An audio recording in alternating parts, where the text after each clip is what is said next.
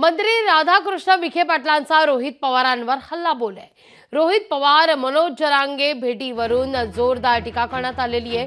रोहित पवार केवळ एक प्याद आहे असं विखे पाटील म्हणतात. रोहित पवारांमागे कोणाची शक्ती आहे हे सर्वांना ठाऊक आहे असं विखे पाटलांचं वक्तव्य समाजाला गुमराह करण्याचा प्रयत्न झाला.